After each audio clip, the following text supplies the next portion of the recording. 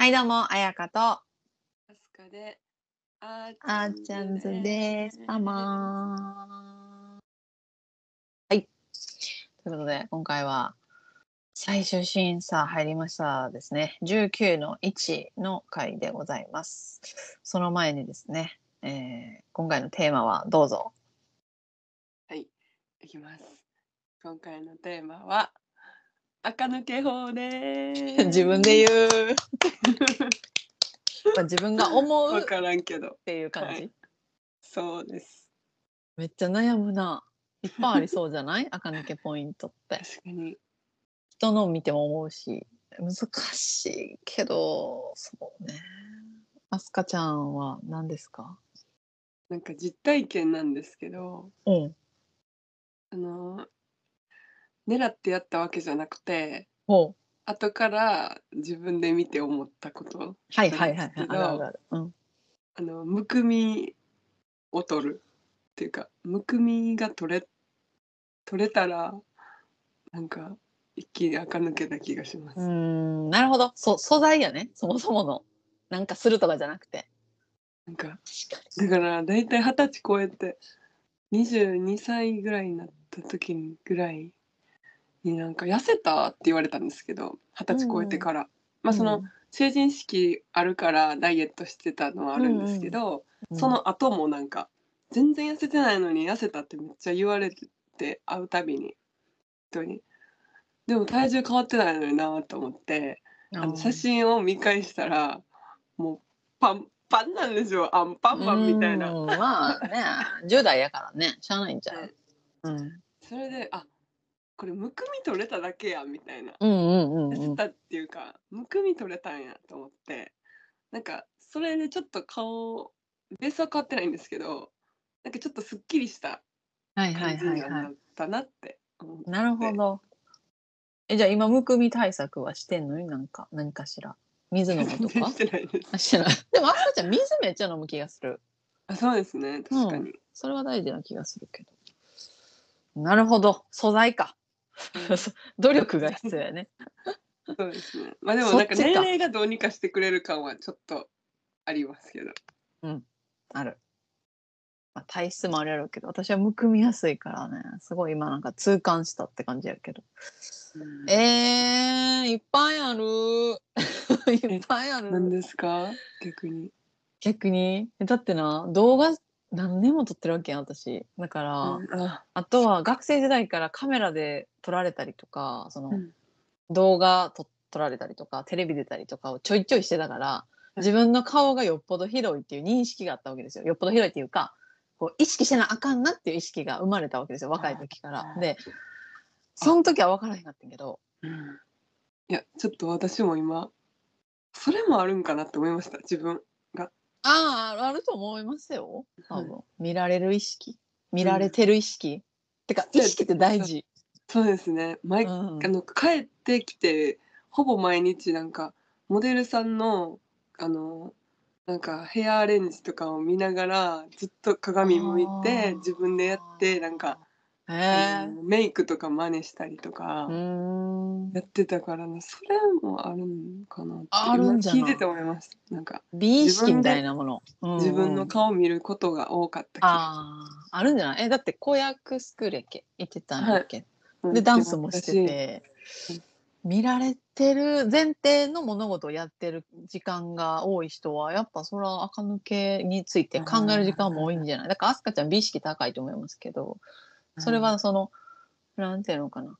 正し高いだけじゃなくてやっぱ見られてるってのもあるからじゃないかうん。なとはちょっと思いましたけど。さんやりたいなって思ってた時期もあったんで。ちっちゃい時には。うんうんうん。なんかポーズなんか真似したりとか。ああ大事よ。鏡の前とかででしょ。やってたやってた。私もずっとやってた。ことしてました。私もやってた。よおむつしたやおむつの時からやってたそれ。あの歌い姿みたいなすいません話入っいちゃった。やいいですよ。でもほぼそれと一緒っちゃ一緒やけど。うん。そういうそのどこで、まあ、今日とかごめんもうほとんどこだわり最近なくなってきちゃったけどこの角度で撮るとか。うん。このこの角度がいいとか、なんかあるやんか。そういうのもやっぱやるしあんまり暗いとこで撮らへんようにするとかあるし、うん。鏡面ちょっとへいつもとちゃう場所やから変な光り方やけど照明ちゃんとするとかなんかその意外と撮られてる時の自分の顔をまずちゃんとするっていうのがあるけどこれうん一般の人に多分ねきょあのなんていうの？共通じゃないと思うから一般的にそのカメラに撮られる前提じゃないのでいけば髪の毛じゃない？髪の毛。確かに。化粧と言おうと思ってんけどリップ大事よねって言おうと思ってんけどリップ大事です。だよね。リップあるないでちゃうよねと思ったけど、そんなん言い出したら眉毛もそうやしなんかいろいろってなっちゃって。眉毛なんかよく言いますよね最近。眉毛全然ちゃうもんな。眉毛アートとか流行ってるそうしたいめっちゃしたいんですけど。うんだからまあむずいけどでもいくら眉毛アートしてリップ綺麗に発色のやつやっても髪の毛バッサバサやったら垢抜けへんくないと思う。確かに。髪型大事ですよねそう。ツヤとねあと清潔感。何より清潔感。なんかおしゃれ感でいろいろやってたけどウルフにしたりパーマ当てたり。でも、うん。そこにツヤがないとうん。絶対あかんって気づいてからはツヤ重視にするようになった。髪型っていうよりは、まあ、髪型も大事ですし色も大事やけど結局染めてもその染めたやつが綺麗に保ててないともう。あかんねんなって思って。確かに髪の毛の気がしてきました。なんかやっぱり芸能人の方と会うと髪の毛がほんまに綺麗しあとお肌、お肌も綺麗しやっぱこの辺が綺麗よね。どうしてもね。うん。なんか垢抜けといえば今すぐできることやったら髪の毛じゃない？みんな何でもできそうなことやったらね、そうですねうん、痩せるとかもあるんでしょうけどでもなんかこう別に痩せてるから垢抜けるわけじゃないからそれは。そこはちょっと違うと思うから、うん。体型っていうよりはあすかちゃんのように素材をどう生かすかじゃないかなと思いますけどね。面白いこれは。いっぱいある。多分無限にあるから。確かになんか無意識にやってるやつもありそうですね。あると思なんか自分で垢抜けようって意識したことはなくなかったんですけう。ど、うん。ただなんかあの美意識高か高いってその彩香さんに言ってもらってあそうやったのかなみたいな感じで、なんか気にしてるって感じすごく。見見かけに対して気にかけてる人ってイメージはある。気にはかけてるかもしれないです、うん、こだわりがある逆にでも気にしすぎてちょっとなんかなんか自分可愛くないなって思っちゃうことはめっちゃありました。ああなるほど。ネガティブゾーンに入るとね。うん。あるよね。まあそれはしゃあないっちゃしゃあないかもしれないですね。人前に出る出れば出るほど可愛い人もいっぱいおるしさ、うん、比べてるつもりなくてもあるやん。たまに比べちゃうん。あーって。うん。あんな綺麗な人の横になんで立たなあかんのとかあるやんか、まあ。まあそれ言い出すとね、あれなんですけど。まあ、みんな思ってんじゃないと思う、でも逆を言えば。自分だけじゃない気がする、そういう精神は。うん、だから逆、一周回って、まあいっかと思うねんけど、うんじゃあいっかみたいな。みんな気にしてんやったら気にする必要なくねって思うけど。まあでも、いやほんまに早いのはあの動画撮ることやと思うけどな。写真じゃなくて、動画で垢抜けてたら、垢抜けそうと思った。写真はなんかちょっと決められるやん。奇跡の一枚が起きちゃうけど、ど動画は無理やん。結構そのまま出ちゃうやんか。うん。なんか最初の頃の動画見たらうわーと思うからやっぱうわーって思うってことはちょっとは変わったんかなと思いますけど、うん。大事ですね。動画を撮って自分で見返すっていうね。何があかんのか。大体表情が硬いっていうのが原因やと思いますけど。それもありますね。表情大事だと思いますね。全部や。全部大事。ほんまにね。はいじゃあ行きましょうか。お願いします。はい。えー、1枚目は、はい。そうたくんのインタビューからなんですけど、うん。この「ザ・ファーストがなんかずっと才能を光らせてくれて足りないところは成長させてくれて毎回そういうところで涙が出るって言ってて、うん。なんかあのーでその後にこの創造された中で成長できるこの場所があのーありがたいし大好きですみたいな言ってて、うん。なんかあの涙が出るってうん。あのーなんていうのこのその環境がうん。あんまりないっていうかほとんどないって分かってるからこそなんかまあ、それこそ感謝とか恵まれ自分ほんまに恵まれてるんやなとかそういうなんか改めてき貴重さになんか気づかされての涙なのかなって、うなんんかすごい、まあ、いろんな世界を見てるからこそのなんかすごい信憑性信憑性っていうかなんかなんかあリアルやなって思いました。うん。うんはい。確かに。ダンサーでの美味しい話とか進む道は他にもあったけどうん。あのここを選択してなんか強く決めてきたみたいな。なんか選択ほんまに選択なんやなって思いましたなんか。うん。うん人生っていうか。うん。自分の今今の状態、最終は自分次第やもんな。はい、うほんんまにほんまにそうですよねって思いながらなんかうん思ってました。うん、そうやね。これは誰もがしみるよね。選択の連続って気づいた瞬間から始まりやと思うけど、人生。しみるね。うん。で次が翔太くんです。うん。えっと、やってきたことが間違いじゃなかった。あの、今までの人生が間違ってなかったっていうのを証明するっていう、うん。さんの言葉になんか、言葉が刺さったってう言ってて、ん。なんか、うん、やってきたことが、やってきたことが間違いじゃなかったんだよっていうのを人から言われるのが初めてって言ってて、うん。認めてもらった感覚。なんか、うんそれめっちゃ、あーなんかめっちゃわかるって思って、日本って結構あんまそういうの少ないよなって思ったんですけど。え、それってさ、前にアスカちゃんと喋ってたさ、音楽とかやる人の人権が低いみたいな話してたのに繋がるのかな、めっちゃつながるなって思いました。うん、そうか。なんか、そうですね。うん、わかる、めっちゃわかるよ。めっちゃわかるけど、むずいな。この人になんか認めてもらうためにやってるわけではないから、うんそもそもはね。だからむずいなと思って。うん別にそうう、いうことじゃないけど、やっぱそう言われると、うんなんか安堵はあるよね、確かに。うんその気持ちがわかるって感じかな。うんそうですね。うん。なんか、でもほんまに、あのーなんか、みんなそれぞれいろんなことがあると思うんですけど、まあ、や頑張ってることとか。なんかはいそれを聞いて、人がどうこう言うことじゃないのに、うん。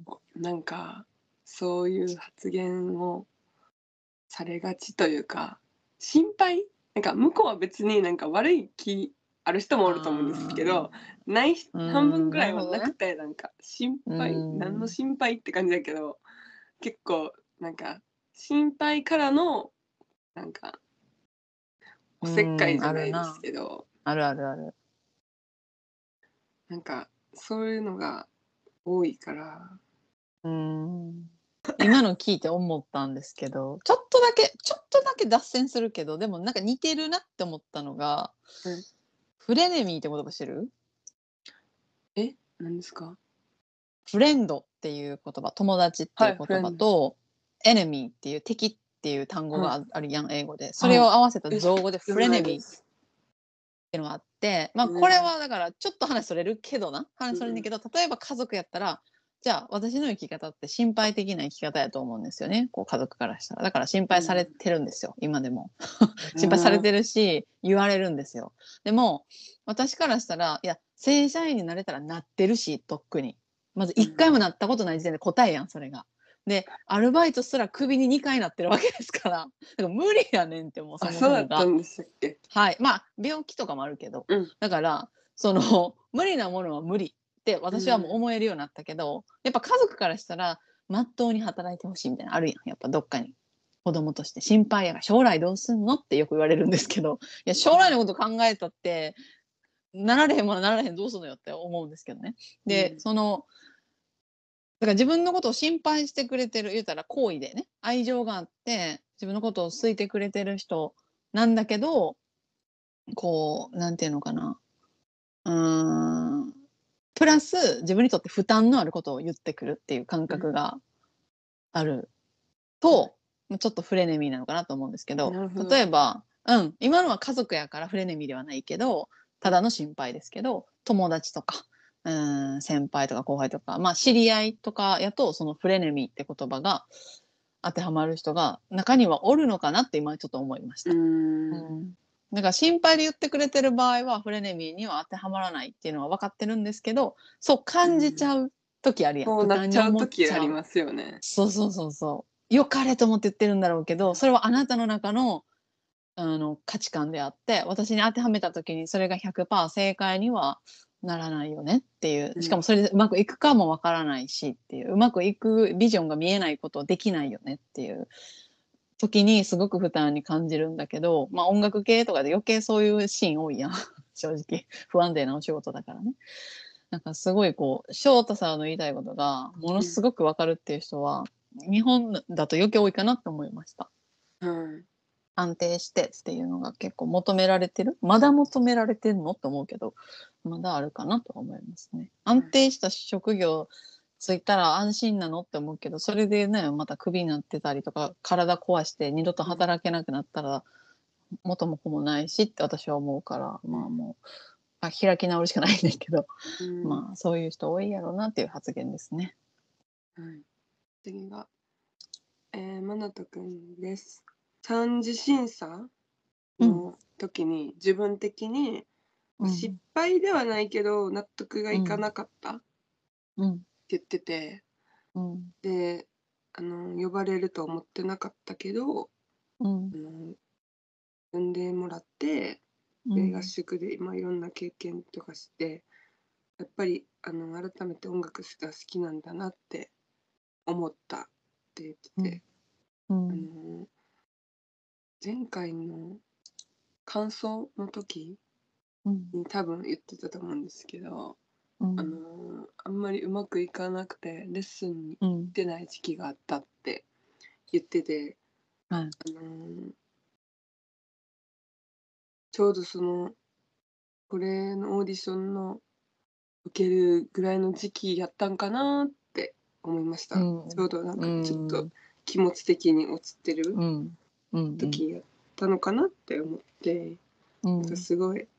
でも自分であの受けようと思って受けてあの選んでみてもらって。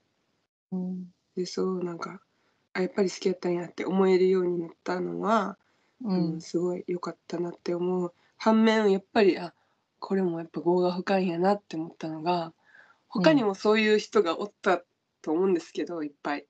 そこでやっぱそのあの、まあ、今回もうまくいかなかったってなった時にあやめようって思う人もおるかもしれんしなんかそれがほんまになんか、あ業が深いんやなって思いました。うん。そうね。人生変わっちゃうもんね。はい。うん。で、うん、次がゆうへいくんうん。がなんか、あの人ってこんな短時間で変わるんやって言ってたのが、まあ、多分自分の、あの性格？性格っていうか、ん。も含めなんか他のメンバーの上達とかもっていう意味やと思うんですけど、でなんか一つのオーディションでこんなにも泣く回数が多いオーディションは後にも先にもないって言っててほんま確かにそうやなと思って。うん。なんか人として変われたオーディションって言ってうたのがん。うん。すごいなって思いました。うん。ほんまに育成ん？育成プログラムみたいな言ってたと思うんですけど、社長が。はい。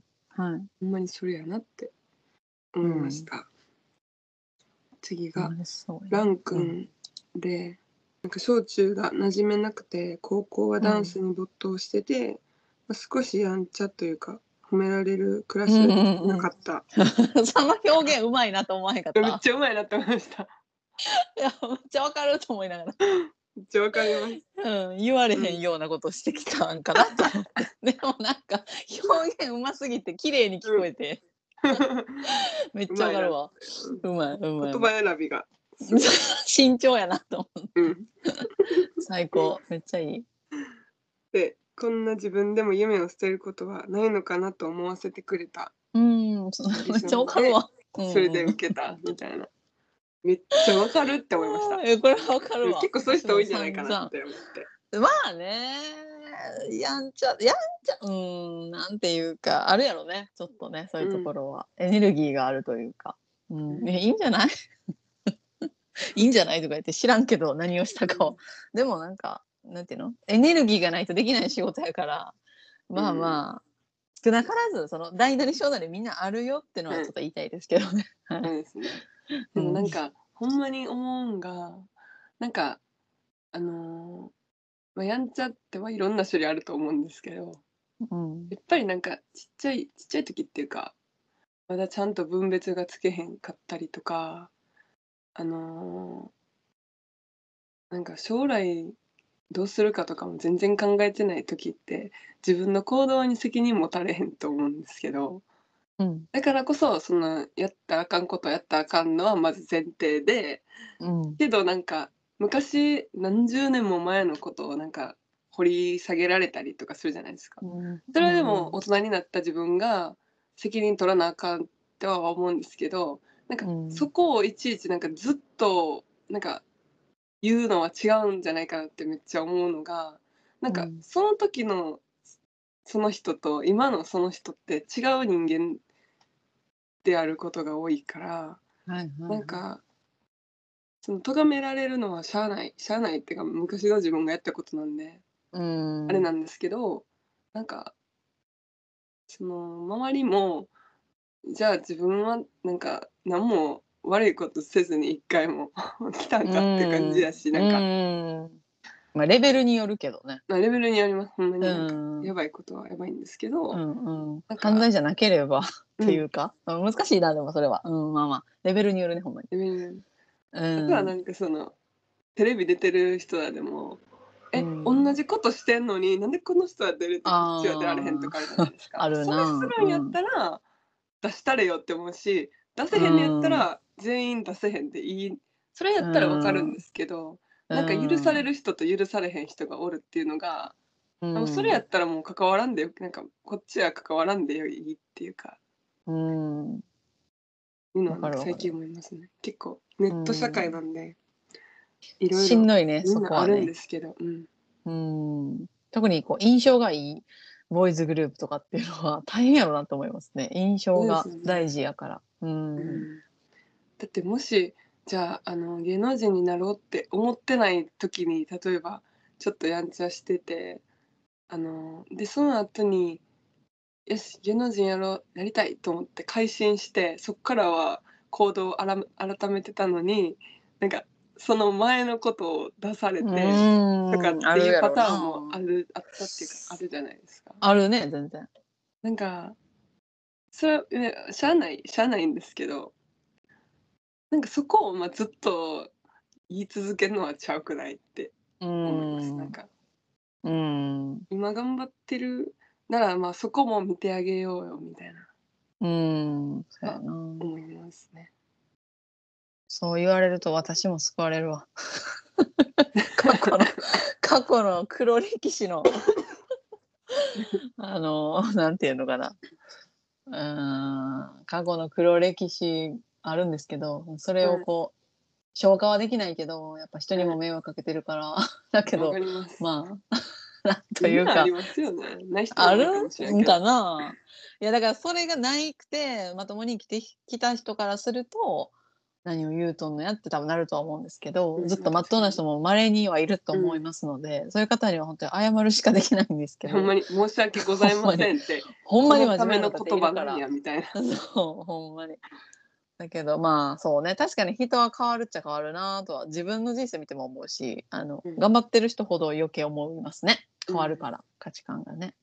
はい、次が、えーレオくんでがもし自分の人生が何万通りもあるとするなら僕はこの人生を選んでよかったなと思うくらい全てが宝物って言ってて。うん。なんかそうやって思えるかな今の自分って思ってうんすごいなんか考えさせられました。これさっきと似てるかな？選択のうんことやね、結局選択した人生をを良かったと思ってるってことやね。なんかそうやって思えるようにしようって思いました。うん、いいいいですいいです。でもなんかそうやって思えるのってなんか全力やからやなって思ったんですよなんか。そうなんですよ。なんか何を選択してもやねん結局こういう人って。全力なんかあのーもともとなんか何に対しても全力っていうか真面目すぎてそれで疲れたこともあるんですけどだからあうん抜く時は抜かなあかんねんやって思ったりとかしたんですけどやっぱりなんやかんや全力でやってる時の方がうん充実してるというか、うんうんあうんなんかやったなって思うなと思って。うん。だから、まあ、全力全部に全力したらそれは疲れるんで、うん。まあ抜かなあかんとかは抜かなあかんと思うんですけどやっぱりなんかうん。全力っていうのはいいんやなって思って思ういました。ん。確かに。後悔はないね確かにその方が。はい。うん、で、まあ、この合宿が音楽人生の青春って言っててすごい。はあまた。またなんはあかっていうか。フレーズ出してきたなって思います。そうやな。いいいいわいつも言葉選びが。うん、素敵。次俊斗くんが、えーはい。最初はなんか自信がなかった。ない時だった、うん。あこのオーディションの最初が、うん。だけどあのみんなに褒めてもらったり認めてもらって、うん。自分を愛する心を持てたって言ってて、うん。なんか大事やなって思いました。難しいけど認めてもらってっていうのは必要なフェーズがあるね。ずっと褒められるのはちゃうと思うけど、うん。一回受け取ってもらいたい時ってあるやんか。自分の実力とかセンスとかって分からへんから自分では、うん。誰かに見てもらって間違っまあさっきの翔太さんもちょっと似てるけど間違ってないっていうかここれでいいんやっていう指針が欲しいと思うね、多分アーティストってちょっとは。うん。だから、まあ、ほっといてくれってタイプもいると思うけどロッカー気質で。いや俺のやりたいことやらせてくれっていうパターンもいると思うけど まあボーイズグループ目指すぐらいやから協調性もあるしあのだ他人にどう見られるかっていうのにも興味がある人がいっぱいいると思うからそういう意味ではあの承認欲求も多少は必要なのかななんて思ったりします最近、うん。承認欲求で始めること自体は悪くなくてその後ずっと大人になっても承認欲求はちょっとまずいけどうん。10代20代やったら承認欲求でエネルギーにするのも悪くないなってちょっと思いましたこのコメントを見て。うん。確かに。うん。次が陽気くん。まあなんか、あの B チームの時のことを活かせた。っうん。うん。て言ってて、でレイちゃんはあのーなんか自分は音楽の道に向いてないやろうからいろんな言語が話せる長所をなんかうん。言ってて、いやうん。長所しかないやんみたいななんか。長所だらけやな。長所だらけやんって思って。うん、確かに。でまあオーディションをしてあの、うん。これしかやりたくないって思った。うん。ってほんまにそれはすごい恵まれてるっていうか、うん。あのーうん、いい環境やしうん自分の選択がなんかなんていうんですか合ってたって言ったらちょっとあれですけどうん。マッチしたっていうか、うん。これを運命と呼ぶのかどうかは分からへんけどそうだねマッチしたよね。って感じかなと思っうて。んあとはなんかすごいめっちゃわかると思ったのがなんかこの空間とかこの環境にお別れをしないといけないのが悲しいって言ってて、うんなんかあの卒業する時に似てるなって思いましたなんかうん学校、そうだろうねあもうここに、うん、生徒として来られへんねやみたいなうん感じのうんわかるわかる。すごいそんな感じで私はなんか感じてそのレイちゃんの心境が。うん。うん。惜しい名残惜しいだよね。うん。うん。わかりわかるって思いました。うん。でなんかまあここにあのおっていいんかなって最初は言ってたんですけど、うん。なんか今はここにおるのがしっくりきてるって言ってて、うん。おーすごい。変わったね。で次がジュノン君がうん。えっと1年前はうん。大変な年だって、はい。うん。で、まあ、頑張ってるとこを見てほしいっていうのは、口には出さないけどまあ内心思ってたうん。ので、っていうのがなんかうん。人ってほんまに何があるんかわからんやなって思いました。言わないと。う。ん。思ってるとか、はいはいはい。現状とか。うん。だからもうむやみになんかどうこう言ったらあかんねんなって改めて思いました。そうやねん。そうやねん。むっちゃむずいよな人の人生に介入どこまでするかっていうのは。当たり障りのない会話だけやとそれはそれでなんか寂しい気もするしでもあんまりむやみにずかずか入ってったら的外れたこと言うのもありやし傷つけたくもないし経験なんて分からへんやんその人の追ってきた経験とか傷ってうんすごい介入する時はある程度ちょっと覚悟を持って自分も。うん。うん。責任、うん、責任もかな。責任感と覚悟を持って介入するって決めて入っていかないと、その人の内面に。すごくお互いが疲れてしまうのですごいなんかジュノ君は多分それ分かってるからっていうかそういう経験があったのか分かってるからなのか、まあ、両方だと思いますけどすごいお重たいというかね響く言葉をおっしゃってましたね。はい、うん次が、はい、ドーン富士山です。うん、めっちゃ綺麗ほんまに綺麗。じゃえかっこいいみたいな初めて富士山かっこいいと思ったっていうぐらい、あ、そうなんや。めっちこんなゃ綺麗かここまでかっこいいかっこいいって思ったことないっていうかあすごいでかみたいな感じなんですけど。えかっこよって思いました。なんか、ジャパン感すごいよね。はいなんか、雲もないから、鋭いっていうか、はい、かっこいいね、確かでなんかあのーその後引きでこう引いていくんですけど、に。うんあのちょうど富士山が見えてこの「ザ・ファーストのロゴが見えるタイミングないかなと思ってずっと待ってたら ずっと真ん中なんですね。でもえへあなんか富士山のてっぺんにおる日本のトップって意味なんかなと思ってわざと勝手に思っただけですけどうん。たまたまなのかわかんないですけどいやー、わざとじゃない？うんなんか富士山のそのちょうど真ん中にずっと位置があるからねなんかちょっと考えられてるのかなって勝手に思いました。そうじゃん。うん。次は始まる前のスカイハイさんの全コメントが刺さってうん。なんか救われる人が多いんじゃないかなって思ったんですけど、うん。なんか日本の音楽業界に必要な一歩で日本にあふれる才能に必要な一歩っていうのがうん。なん、か、うん、救われる人がさっきも言ったんですけど救われるなって、救われるやろうなっていうのが思いました。うん。うん。希望を持てるね、本当に。うんうん。で次が、えーこの瞬間を一緒に過ごしたい仲間を呼ばせていただきました」って言ってはい。5人が出てくるんですけどうん。あの大輝くんがまずコメントしててうん。あのあのペコペコしてて可愛かったなって全然ステージとちゃうよな。これがいいよね。等身大の大輝くんでしたね。うん、かわいい。で次るいくんがなんかもうすぐ泣いてて かわいい。みんなに「早い早い」まだやってへんねんけどみたいな。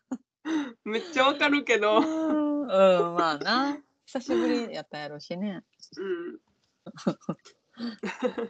眩しく見えるしね、なんか。確かにね。いろんな感情があるやろなって思った思った。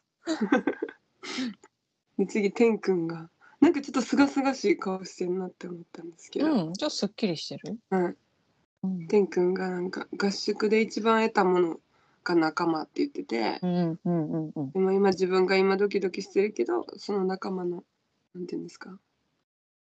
集大成を見届けられて嬉しいみたいな、うん、うん、でもその後のコメントがすごい重いなーって思ったんですけどいい意味でうん、うん、この5人の分までその前に落ちた方々の分まで背負って頑張ってくださいっていうのが、うん。ほんまにあ業が深いんやなってもう多用しうてん。すいませんって感じなんですけど、ほほんまにそれやなって思いました。いろんな人の夢を夢が詰まってるっていうかうん。背負ってる託されたわけやんもんな。うん。ね、そう思うとなんか残った人、えー、と違うな、えっと、開催者側が業が深いっていうのは一発で理解できたけど、うん。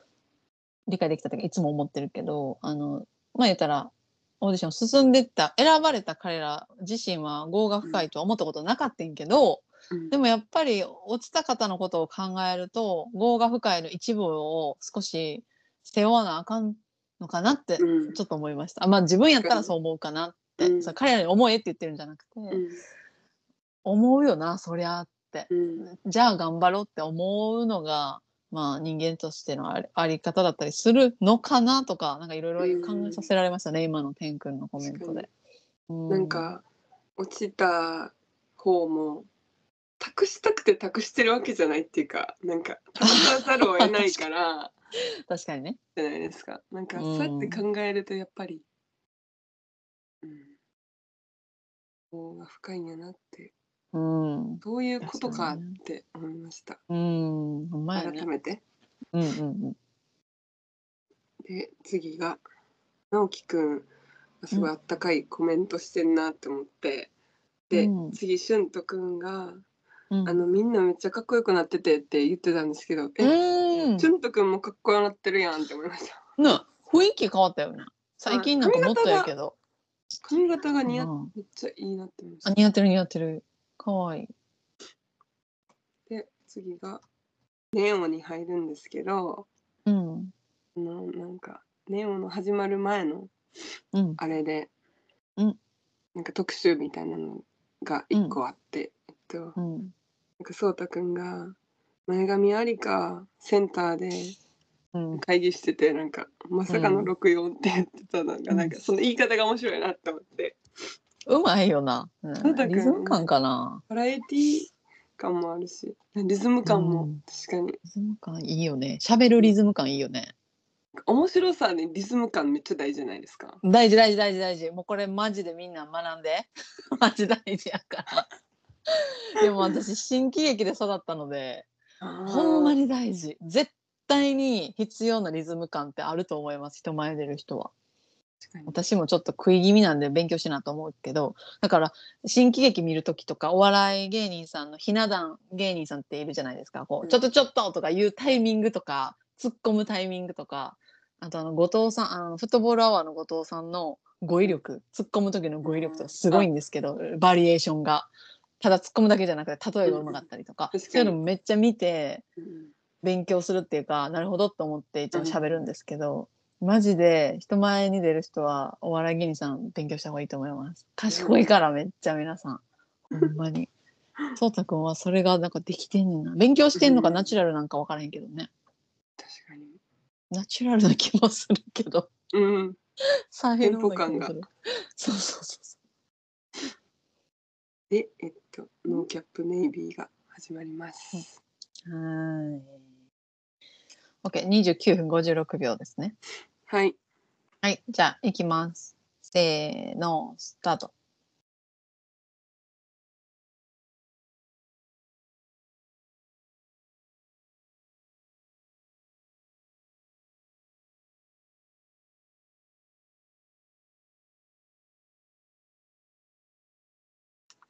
ストップ。もうな全員やけどな全うん。員ニヤニヤしちゃってるっていうのがまず面白いのと、もう好きすぎてしゅんとくんよだから。好きすぎてこれがみたいな。ニヤニヤ？ニヤニヤが出てんねんけど 特にマナトくんがニヤニヤ感が止まんなくて多分確も。う出ちゃってる。いつもうん今まで逆に表現を求められてたけどこれはうん。求めんでも好きすぎて出ちゃうみたいな,、うん。なんか考えんでもできるってことなんかなと思って。あ出ちゃう人ってこうなんか素直ーに出ちゃう。でもそうそうそうそう。だけど多分うんなんていうかなまあ極めた人のあれな悩みっていうのもあるかもしれないですけどやっぱり好きだけじゃないなんていうの音楽ってあるやん。好きだけではできない音楽ってあるやん、難しいからとか。そういう時考えちゃうんやろうなと思ってそのうん。表現難しい時って、だけどこれは考えんでもできるぐらい好きっていうか身についてるものはいってことが言いたかったんですけど、うん。だからこんなニヤニヤしてんのかなと思って。最高最高ですよ。だからこれが本来の姿やん。ミュージシャンっていうかアーティストって。自分が届けたいものを届けてそのうん。感情、溢れた感情をキャッチしてもらってみんなでハッピーになるっていうのが本来のやり方なんだけどザ・ファーストが目指してる BMSG が目指してるのはその好きな音楽だけやるだけじゃなくてうん。あの結果を伴わ結果が伴わないといけないじゃないですか、ゴールがはっきりしてるっていうか。だから難しいよねっていうことがちょっと言いたかったんですけど、本来はこれであるべきだと思いますよ。本来はっていうか、うん。これを忘れたらあかんって思いました。この笑顔を見て3人の。はいいきます。せーのスタート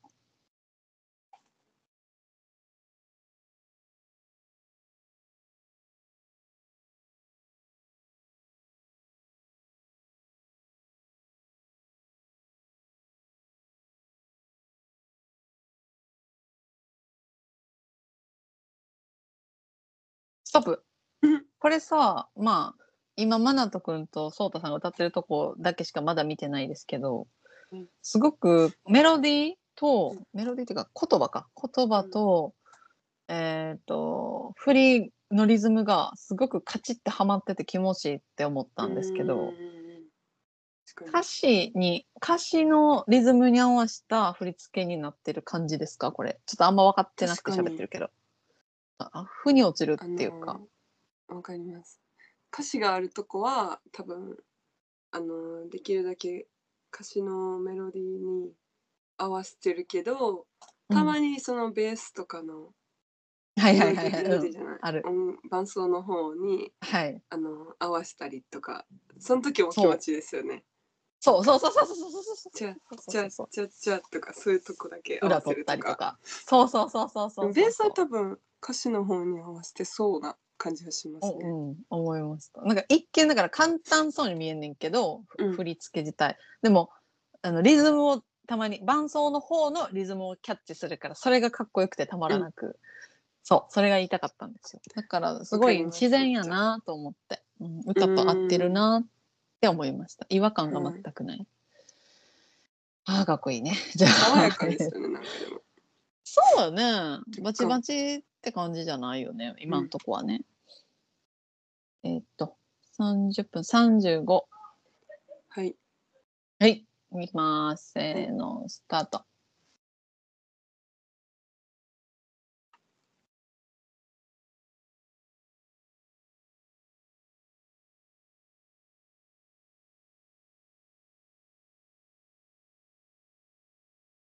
うい好き。かっこいいね。うん。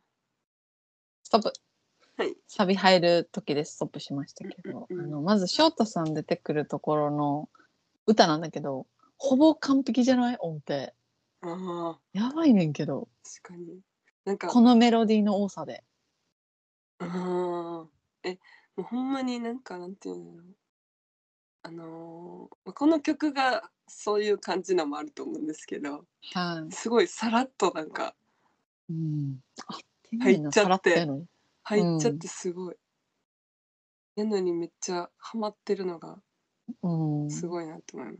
こんなになんか音数少ないからうん、でも合わせないとやばいですよね。やばいっていうかそバレる バレるっていうか。うバレる。今のあの音楽主流主流まあ DTM でこれも作ってるから音程が緻密なのね。だからちょっとでも昔のゆっくりした曲とかやとちょっとずれてもなんか許容範囲みたいなのあったけど結構許容範囲が狭くなってきちゃってストライクゾーンが狭なっちゃってるんですよね音程を取る幅感っていうのが、同じ銅でも低めの銅とちょうどの銅と高めの銅とってこうあるじゃないですか。もっと細かくあるやろうけど、耳いい人からしたらもっともっと細かく聞こえるんじゃないかなと思いますけどその緻密さがもちろんマナト君もあのそうた君もほんまにはい緻密に歌ってたのは理解できるしすごいでもこの3人歌唱力めっちゃ高いんですけど、うん。あのそうあ違う違う翔太さんの細かさで言ったらほんまにすごいと思う。細かいメロディーをキャッチする能力。でしかもそれを合ってますっていう歌い方じゃなくて合わせてますって歌い方じゃないねん。喋ってるみたいねんあくまでも。あわかる？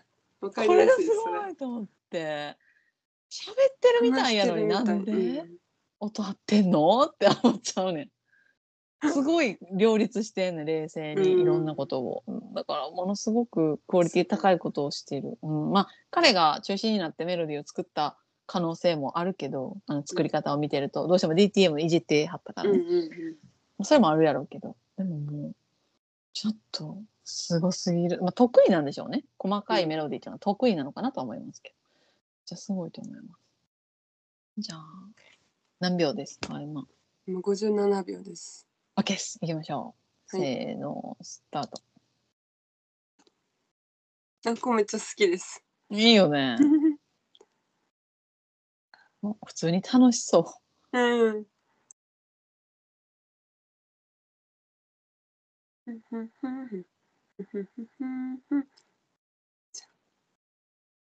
えー、あストップ言うの忘れた。反応が先になっちゃった。重なる今偶然じゃない。笑顔で笑って消えていくんやけど。これをみんなは待ってたんじゃないでしょうかっていう笑顔ですね、もう本当に素直な素直なお方なんでしょうね。だからこれを見ると。うん。楽しいんやろうなっていうのが伝わってくるいやもう楽しそうなやつに対して何も言うことないな。楽しそうやからこっちも楽しくなる。終わりみたいな。確かに。風になっちゃうけど。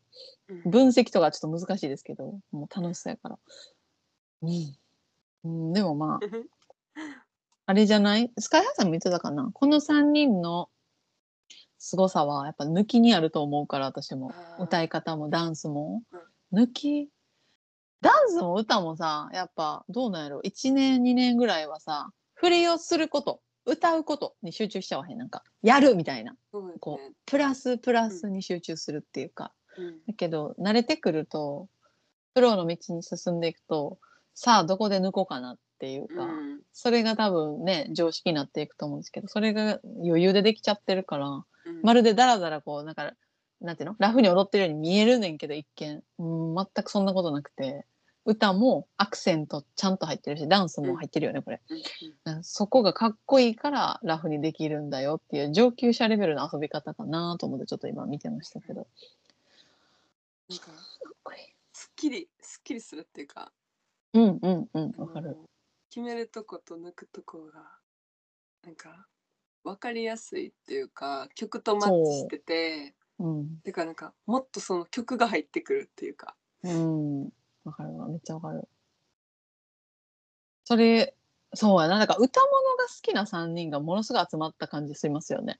歌うんをメインにちゃんと考えて、うんコレオグラフも考えられるしっていうところ。かっこいいですね。じゃあ行きましょうか。せーの、はいスタート。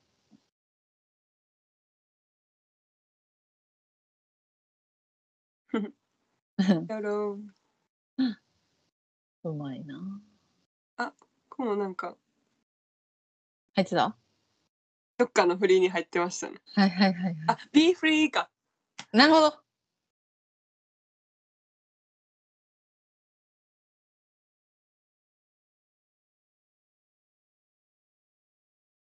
うわ好きうん。おおうまいな、ラップ、ここ。ストップ。あと、あの、いちょっとあの、喋ってて取りこぼしちゃったけど、マナト君の、ムーブーンみたいなところ。もう、これはやられた人、これでファンになった人おるんちゃうかぐらいのパワーあるよね。めっちゃ好きうん、さらっと言ってんねんけど、情熱。あ、そうそうそう。さらっと歌ってるように見えるけど、情熱を感じる歌い方がうん前面に今回出てるのかなと思って、うんそれもかっこいいし。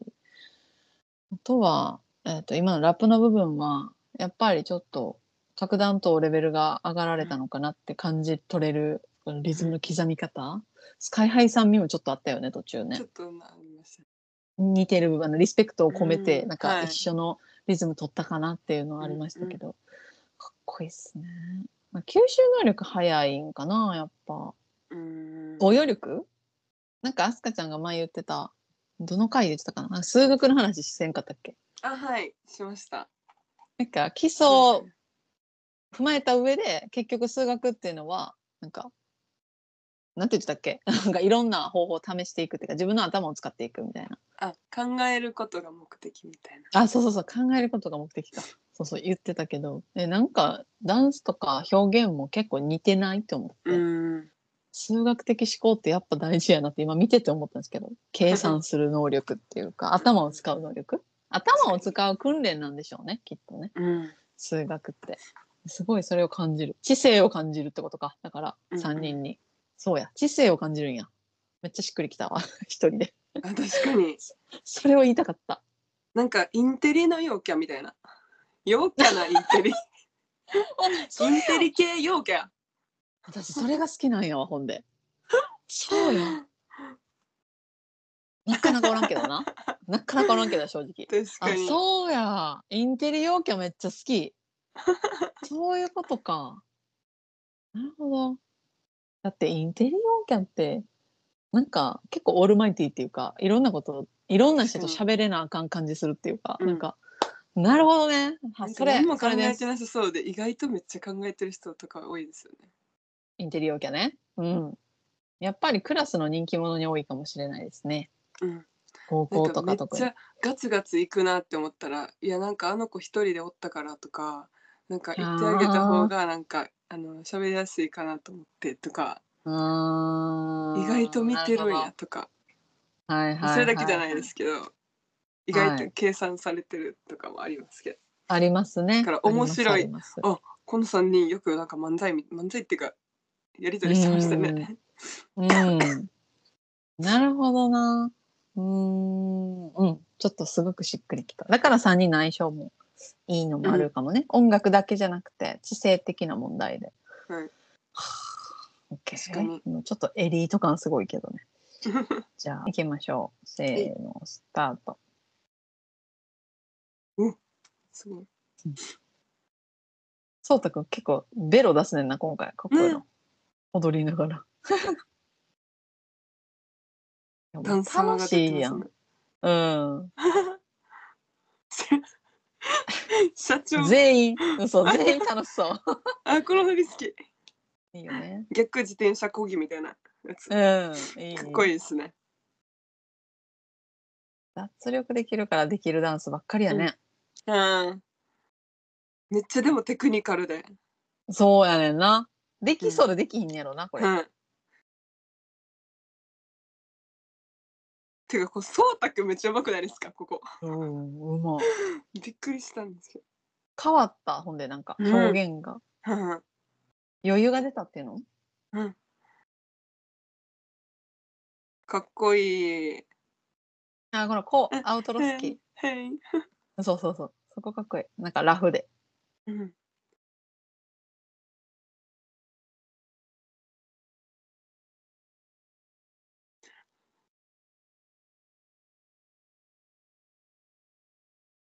あ、もう、もうすぐ来るよ、私の好きな最後。笑ける。あ来た。去っていくってやつ。猿のやつ好きで。去るやつだけさしてほしい。マジで。はい、終わり。はよ、やれよっていうな。やろう、やろうやりましょう去る、去るとこだけやりましょう別に。ダンスは無理やわ。あ、でも、イエーイイエーイぐらいでできるから。はい。なんでそこやねんっていうな。ああ、面白い。えー、面白そうやな。よし。じゃあ、ちょっと止め止めますね。は。ノーキャップネイビー。今度それリールで。ちょやろう、去るとこだけやってみたみたいな。ビーフリーでもいいけど。BMSG の猿シーン全部やってみたみたいやりたい。ほんま、あ結構あるよね。あと、終わってんのに動きがあるやつとか。うん。もう、ああいうのめっちゃ好きやねん。多分、ソータさんそれ得意やねんけど。ソータさんのこれを好きなんやろプランも最後そうでしたよね。あ、そう。あ、めっちゃ長いよね、しかも。ちょっと難しいけど。ちょっとあれむずいな。おもろい、そうそう、そういうのが好きやねん。よく、よく理解してくれて。OK。なんかこう、ほら、続いてる感じがするやん。まだ終わりじゃないよ。っていうか、余韻を残す感じのコレオグラフが、まあ、好きなんだと思うんですけど、かっこいいって言うだけやわ、ほんまに。やっぱうん私もこういうのめっちゃ好きなんで、うん、好きそう、あすかちゃん洋は。楽のこういううん。R&B っぽいのが好きなんで。うん。年代の初期ぐらいのあのアメリカの R&B とか聞いてる、うん好きやと思うけど、最近あんま聞かないんですけど、ダンスやってた時ずっと聞いてました、あそっかそっかその辺のやつとかスはいはいはい、こういう系の振り付けのはめっちゃ好きでした。ゴリゴリ系よりかは。あーニュアンス？ニュアン歌ありス系ときみたいな。かはい。うんうんうん。いいよね。わかる。かっこいいとしか。しかもさニュアンスってさめっちゃ出すのむずない？意外と。ゴリゴリもむずいけど。ニュアンスってその人のセンスもろ出るやん。確かに3人もろ出てると思うんだけどセンスの良さっていうか、今まで見てきたものがそのまま出てるんだと思うんですけど、ニュアンスがめっちゃむずいと思うからこのニュアンスを作るこのなんていうの3人の世界観が真似できひんからすごいなと思ってちょっと見てるんですけど。しかもそういう系ってなんかそれこそさっきのその抜きの段階に行くにはなんかまず最初は入れる系のダンスやってってそっから抜いていくみたいな話だったと思うんですけど、なんかダンス始めてすぐは結構難しい振りっていうかダンスやなと抜くのは。抜き方もやっぱり、うん、うんニュアンスが体の使い方分かってないとある程度。なんかなるほどね。うん、人がやってる。やつを見てもえそれどの関節どうしてんのって確かに。なっちゃうんで。確かにそうやな。ししかも真似したところで同じようなニュアンス作られもな体型もちゃうし、はい、生活習慣も筋肉もちゃうもんね。うんああ、そっか。まあいろいろやね。彼らの人生が詰まってるって言っても過言じゃないってことやね。やっぱりネオは。全員、全チーム。ああ、でもちょっとクオリティ高いですね。ショーマンのサーベージ。あの、ははいやその、なんていうの？こ今も活動してる、たまに活動してるじゃないですか、うん新曲出したり。まあ、そりゃそうやなって思えるクオリティありますね。発売するクオリティですよね。一枚だけうん。俺のラップはの部分はっていう、いや、わかるわかる。これは思うわ。あ、うん私も歌いたいみたいな。なんかやりたいみたいになる。ヨロの時も言ってましたもんね言ってた。どこで腕入ればいいんやっけ？とかう言ってん。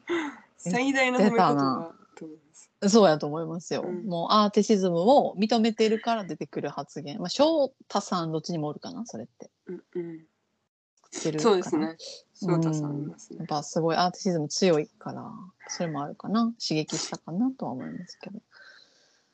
ああ、終わりましたはい。もう濃いから、最後はもう19分も20分濃いので、楽しんで見れたらいいなとは思いますけど。はい次が19の2は続きですね。続きを見ていってですね。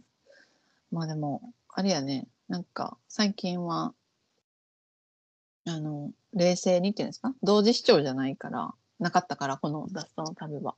はい冷静に見れるから、すごいね、気づくこともいっぱいあるし、あとは自分の視点で見ちゃってたから、どうしても。アスカちゃんの視点で、こうい感想を言われると、あ、そうか、そっちか、とか、なんかいろいろ気づきがあったなぁと思いながら見てます、最近。後半、特に後半、合宿始まってからは。なるほどねって人の意見聞くって大事なんやねって思いながら 自分が発信者やからうん人の意見っていうか自分はどう思うかばっかりを考えちゃうけど、うんやっぱ大事やなと思いますね。まあだからこそ皆さん見てくださるっていうのもあるでしょうけどね。ありがとうございますありがとうございますです、本当に。じゃあ終わりましょう。えー今回は THEFIRST19 の1見させていただきました。一緒に楽しんでくださった方は、ぜひチャンネル登録といいねボタンをよろしくお願いしお願ます。いしますはい、それではまた次回の動画でお会いしましょう。バイバーイ。バイバイ